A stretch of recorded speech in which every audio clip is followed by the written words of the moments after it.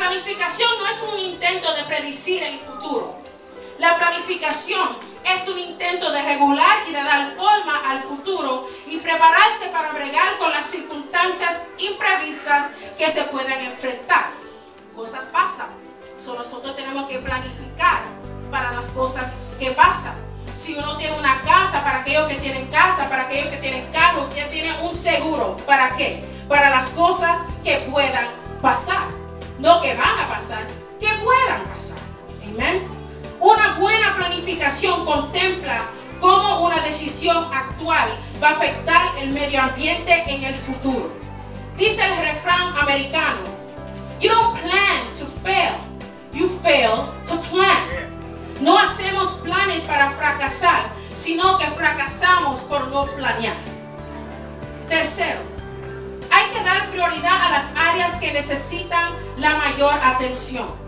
Si una relación segura con Jesucristo será muy difícil de cultivar, un matrimonio o una vida familiar cristocéntrica y muy difícil en las otras áreas también.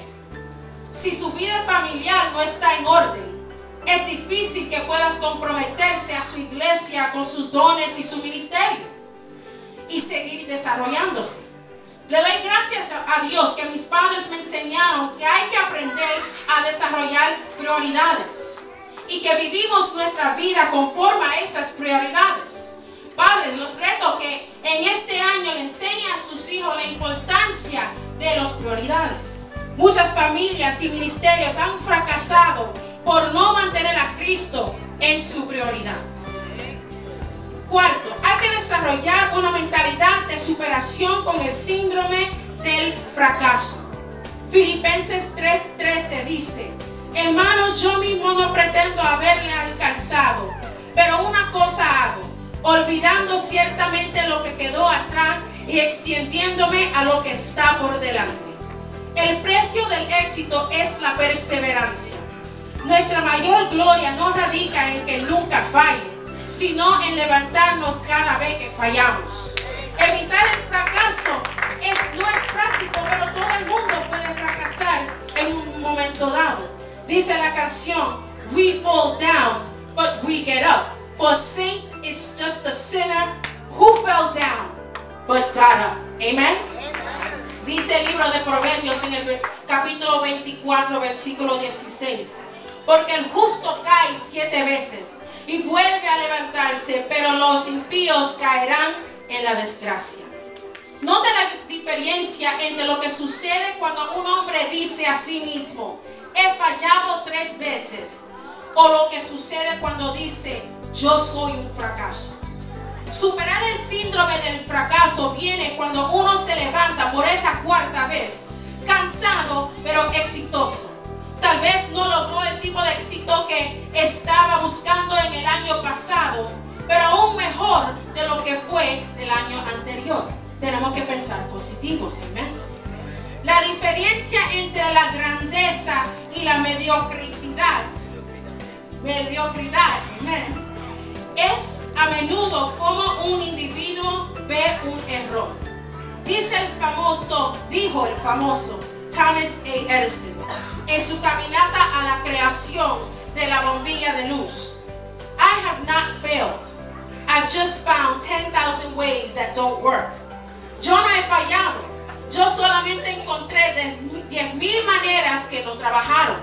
Si él se hubiera entregado al fracaso, hoy no tuviéramos luz.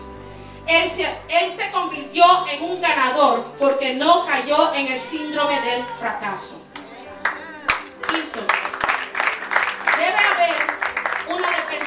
Del Espíritu Santo. Dice Proverbios 16:3, encomiendo a Jehová tus obras y tus pensamientos serán afirmados. Me gusta la versión nueva internacional porque dice, pon en manos del Señor todas tus obras y tus proyectos se cumplirán. Proverbios 16, 9, volvemos a decir, el corazón del hombre se propone un camino, pero Jehová endereza sus pasos. O algunas versiones dice, pero el Señor dirija sus pasos. Y segunda de Corintios 3, 5 nos dice, no que estemos capacitados para hacer algo por nosotros mismos. Al contrario, nuestra capacidad proviene de Dios. Aquí nos afirma la Biblia que cuando mantenemos nuestros planes con el Señor, Él guiará, Él guiará nuestros pasos. Finalmente, hay que aplicar la diligencia con una actitud de ganar. Dice Proverbios 21:5, los pensamientos del diligente ciertamente tiendan a la abundancia, mas todo el que se apresura alocadamente de cierto va a la pobreza. Pobreza. Pero dice la nueva versión internacional, las planes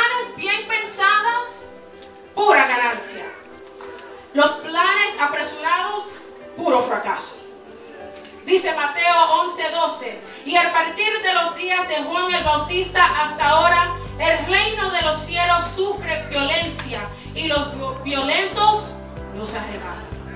La Biblia nos recuerda que con el Señor somos más que vencedores. Tenemos que tener la mentalidad y la actitud de ganar. Para concluir, mi oración para cada uno de vosotros es que al comenzar este nuevo año, que se concentra en hacer planes y metas cristocéntricas, con el deseo de hacer lo que Dios quiere hacer en cada una de nuestras vidas. Como resultado, esto permitirá que la visión que Dios nos está dando en cada una de estas áreas nos haga crecer a nuevos niveles en la victoria Él. Esperamos que al final de este año será capaz de decir, mi relación con el Señor Mi matrimonio es mucho mejor. Mi familia es más segura. Mi participación y compromiso con la vida de la iglesia ha crecido. Mis dones y los ministerios se ejercen. Y tengo un buen testimonio en el trabajo y la escuela donde yo soy testigo de Jesucristo. Los planes del justo harán que estas cosas sucedan para ti en este año que viene. Para cerrar, quiero compartir con ustedes un poema que encontré en el internet sobre el vivir. El autor es desconocido y lo traducé del inglés, pero espero que al traducirlo no perdió su significancia. El poema dice así. El vivir es arriesgar el morir. El hacer es arriesgar el fracaso. El reír es arriesgar el aparecer un tonto. El amar es arriesgar el no recibir el amor de vuelta. El llorar es arriesgar de aparecer ser suave y sensible y sentimental. El alcanzar hacia afuera a otro es arriesgar la implicación o el rechazo. El compartir sus ideas, sueños, deseos con la gente es arriesgar ser llamado ridículo. La misión más grande de la vida no es arriesgar nada.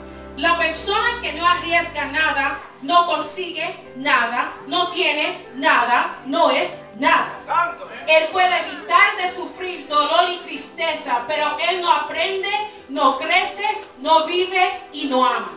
Él es solamente un esclavo encadenado por la seguridad, entregado al miedo.